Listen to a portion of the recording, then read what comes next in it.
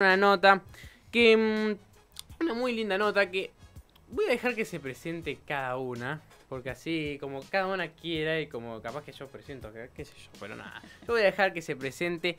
Así que nada, la dejo con todo el pie puesto. Y arranco yo. Ay, qué nervios, me tengo que presentar. ¿Qué digo? Eh, eh, bueno, me llamo. Empezaba todo mal. Bien, no, mi nombre es Amelia Traversa, soy profesora de teatro.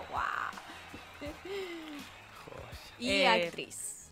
Y yo soy Romina Fabri, eh, soy actriz también y amiga de Amelia. Somos amigas, Somos nosotras. amigas. ¿Son amigas desde muy chicas? No, No. yo ¿Hace puedo cuánto? ser la madre, así que imagínate. Claro, Claro, por eso es mi mamá.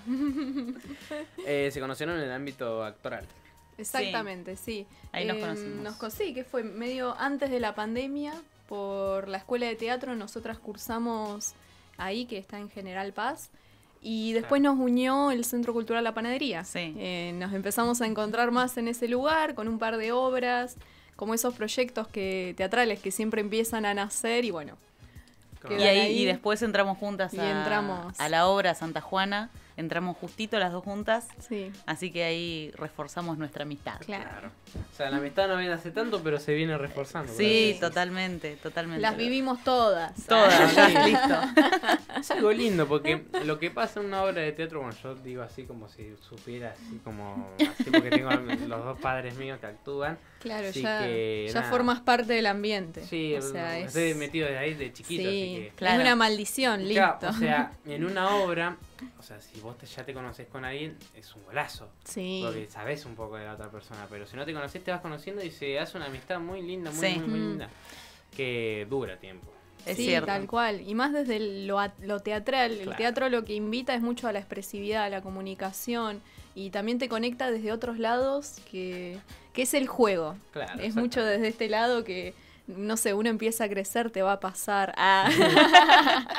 y uno deja, de, se olvida de lo lúdico. Y el Claro. teatro te invita a volver a esos lugares en Sí. los que podés hacer esto, en hacer juegos, en interpretar un papel y es un momento íntimo y mágico entre las personas, tanto del público como de los intérpretes, los actores, las actrices, en que te invita a jugar desde ese lado, que Sí, es buenísimo. A jugar a ser otro todo el tiempo. Sí. Eso está buenísimo. expresan es algo hermoso que pasa en el teatro y por eso es por eso que me metí a una escuela de teatro que Uh. la verdad que es una escuela que la conocí una escuela secundaria Dan- aparte Sí. de la secu hay teatro yo no qué copado ¡Qué lindo! aparte mm, como o sea lo expresaron de cara a lo que mm, es o lo que me llamó a mí la atención del teatro desde chico eh, que es expresar otra persona que no sos Mm, vos y claro. poder hacerla o sea es algo hermoso hermoso, hermoso. Es que tenés la oportunidad de ser Exacto. un montón de personas en una sola vida. exacto. tiempo, claro.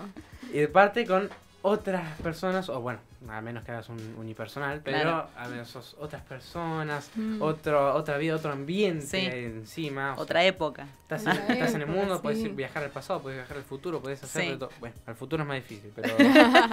pero, lo han hecho, lo han Claro, hecho. lo han hecho, lo han hecho, claro, exacto. Ha pasado. ¿Cómo es esto que presentan? Que acá están las dos, que bueno, es algo lindo. Que mm, quiero que lo presenten ustedes, que es Santa Juana de los Mataderos. ¿Cómo es esta obra? ¿Cómo inicia? ¿Quiénes, quiénes están? Todo, Eh, todo. inicia eh, antes de la pandemia, se empieza a crear, eh, inclusive hay personas que habían arrancado y ahora no están, eh, inclusive nosotras arrancamos recién el año pasado, Sí. eh, reemplazando a otras personas. Eh, en escena son 10 actores, después está la iluminadora, está el director, está el asistente, así que somos un montón cuando viajamos, Claro. como que somos Somos una caravana. somos Vamos. una car es totalmente, literal, la caravana en la ruta, viajando claro, todos claro. juntos.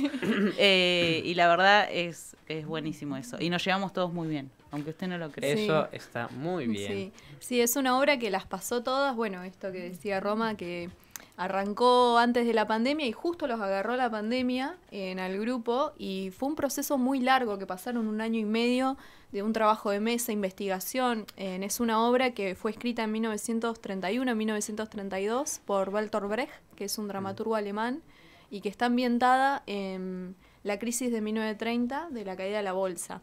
Entonces tiene todo un contexto histórico que más allá de haberse escrito hace un montón de años, tiene una vigencia en la actualidad, Claro. que es lo que hace que por lo menos eh, yo tuve el pla- eh, tuvimos el placer en realidad, justo nosotras dos, de ser eh, actrices de la obra, pero antes ser eh, en público, de poder ver la obra desde el lugar del público. Y yo me acuerdo cuando vi el preestreno y bueno, después cuando Eso juega vi... mucho a favor. Eso juega un montón a favor, ves un montón de cosas.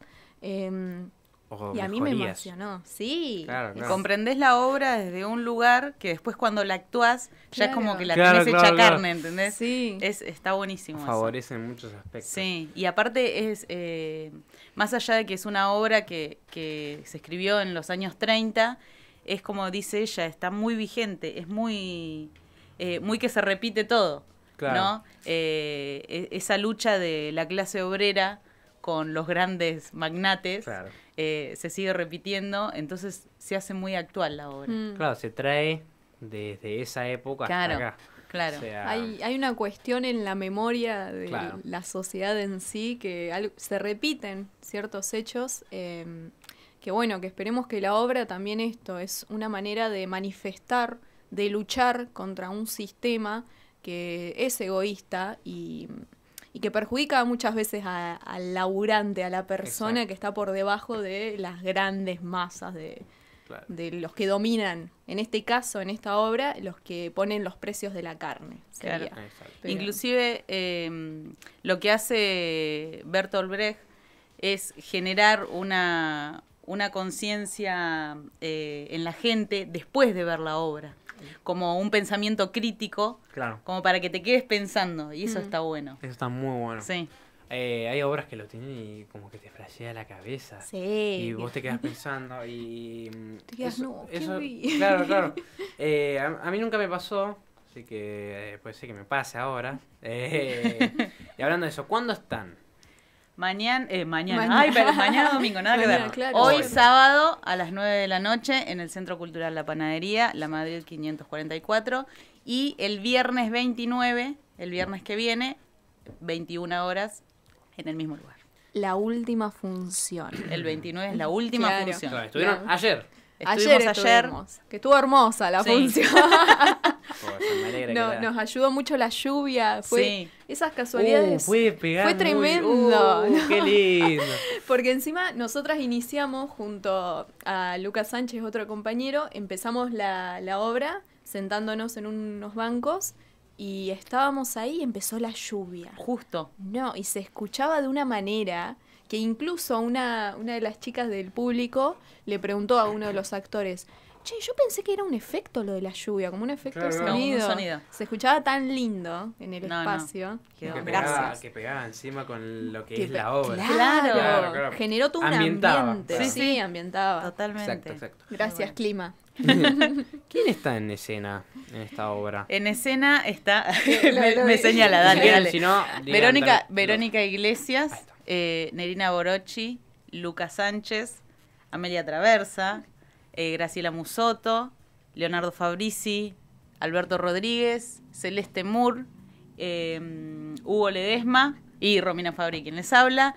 Eh, el asistente de dirección es. Ah, Mica Forestiero, obviamente. Eh, el asistente de dirección es eh, Francisco Mayor, casi le digo Patricio. Le decimos Me pato mata. y- Claro. Pues le decimos Pato, pero se llama Francisco. Claro, sí. Francisco Mayor y la iluminadora es Pamela Tobar. Bien. Y la dirección es de Manuel Santos Iñurrieta, que es el director que está en Buenos Aires. Le mandamos un beso si nos Un está beso. escuchando. Tomá. Tomá. Tomá, tomá. Besito de Bahía. Blanca. Son muchos. ¿eh? Somos Son muchos, sí. Y eso juega mucho a favor también. Ya siempre juega a favor todo. ¿no? Eh, pero mm, no, porque cuando, cuando son más, hay más personajes. Y Sí. esto que me decían hoy, que dejar pensando, te puede dejar pensando en los personajes, en lo que es Mm. la historia. Y al haber más personajes, más pensamiento general. Así que. mm, Sí, también como un desafío. O sea, hay que juntarse 13 personas, porque somos exacto. 13 en total, eh, organizar un ensayo, organizar un viaje y también ponerse de acuerdo.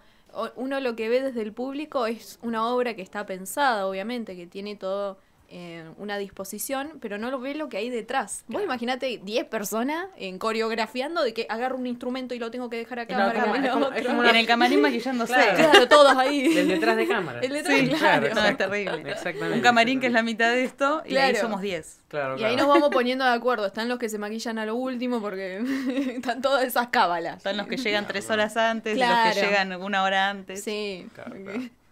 Eh, la iluminación, las pruebas de sonido, todas las cosas. Es un Todo, montón. todo, un montón, es es un una montón. banda. Son muchos cambios de luces. Música en vivo también y original, eso también es lo que Eso tiene. No, sí, no, no usamos eh, música grabada que se reproduce, sino que son instrumentos en escena, hay una wash, hay un acordeón, hay un Aprendiendo a tocar el acordeón con aprendiendo a tocar ahí tocas un coso y haces moves un poco ¡pam! para el otro lado.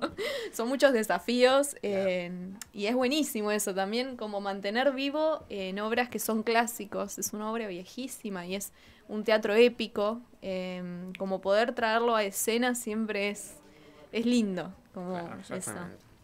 ¿Dónde se pueden sacar las entradas ahora? O si bien para el 29 o si bien Sí, para o hoy. para hoy. Lo pueden hacer, em, bueno, voy a buscar el número de Vero. Se pueden comunicar directamente a WhatsApp, que es el número de nuestra compañera Verónica Iglesias, y a ella le pueden pedir Acá las lo tengo. anticipadas. Perfecto. Genial. 291-575-8611. Genial, anótenselo en un papelito o si no en el celular. Ah, ¿saben no, bien? ese es el de Nico. Para que Ah, sea el de Nico. bueno. No anoten. Sí, no, no anoten no anoten, no anoten. Va, si quieren mandarle un mensaje, el- es el nuestro amigo Nico. Nico. Ah, hace títere. El de- no, Nico, el marido de Vero. Ah, nada que ver. Bueno, toca música. 291-4636-480. 291-4636-480. Ese es el de Vero Iglesias. Sí. En serio. Ahí pueden Sí, sacar es las... Las anticipadas o hacer directamente la reserva. Les conviene hacer una anticipada porque sale un poco más barata y se aseguran también eh, El lugar, claro. para estar. Y en Puerto también Y se puede. Puerta también, En Puerta se, puede también se sacar. puede. Sí. Genial, genial. O sea, es una producción hermosa. Por lo que me Sí. están contando, pinta hermoso. Sí. Por lo que me dicen lindo. es. Es un buen lindo, plan. lindo. Sí. Exactamente. Y todo hecho en casa. Es caserito. Claro, claro. Es como la música, por así decirlo. Como la música, grabada, que no no sacada de algún lugar. Claro, y, pero incluso el vestuario, la escenografía, los elementos, todo es eh, casero. Eso es lo que también a uno le, le genera ganas de ir a Nuevo verlo. In Nuevo Drama, sí. Exacto. Producción local de Bahía Blanca, señores y Sí, señoras. Exacto. Bahía Blanca in the house. Claro. Eh, bueno, me parece que nos estamos quedando muy cortinas con el tiempo, porque son y 53 y el programa Bueno. termina a las 6, tengo que hacer una cosita Ah, estamos Listo, ahí. Estamos, estamos ahí, al pero me se ve con la nota, son dos personas muy lindas y muy especiales, Ay, muy gracias. copadas. Así que nada, gracias por haber estado acá, compartir un poco de tiempo. Bueno, gracias a vos. Eh, Gracias a ustedes. Mm, Decirnos ustedes. de qué trata esta obra, decirnos un poco de ustedes, porque también no, no es todo la obra, sino también es saber más de ustedes, que eso es lo que casi siempre queremos lograr. Em, y gracias por, por difundir eh, que esta obra que va a estar hoy el 29, que em, pinta hermosa y es hermosa. Así que Mm. nada, muchísimas gracias. Gracias Sí. a vos. A seguir difundiendo la cultura local. Exactamente. Así que nada, repetimos eh, una vez más. eh, no, el número, si Ah, querés, lo tengo acá el número. Ah, listo. me acabo de dar cuenta.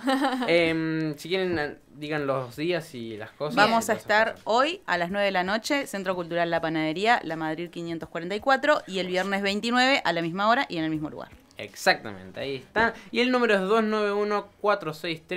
291-463-6480. Así pueden anotarlo y mandar un mensajito y sacar la anticipada que, como acá dijeron, les conviene porque también sale más barato y se Sí. anticipa en el lugar, por eso es una anticipada. Así que nada, gracias infinitas Gracias. por haber venido y por haber difundido. Así que nada, Muchas vamos con un tema, ya volvemos y seguimos con más Vortex Kids.